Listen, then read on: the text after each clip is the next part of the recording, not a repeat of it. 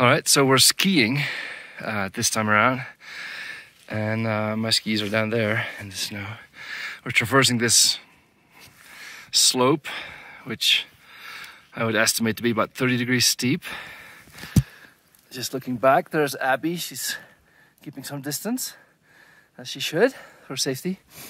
Um, so two days ago, last snowfall, probably quite cold, although not beastly cold snowfall. Um, and um, uh, in the little hollows and positions uh, behind obstructions, you have quite a lot of snow. Like here, um, maybe now you can see a ski. That's I don't know. That's a half meter, like two feet down or so. Um, so results of that is one, I'm sweating from breaking trail in this deep snow. Um, the other result of that kind of snow is um, that there's avalanche danger and um, the good thing about this slope is it's a short slope. It's very vegetated, as you can see. Um, but the bad thing uh, is was illustrated to me just now. Do you see it? Probably you do. Those big blocks. The one big block that fell down like here. Um, it failed when I um, made my trail and uh, and jumped up and down a little bit to test it. Um, in fact, I think it just failed again a little bit. Um, and why does that block fail? It's part of a small area of connected snow, um, a snow deck. And um, the snow deck um, is weakly connected to the surface uh, under it. So the, as you can see, there's a rock there.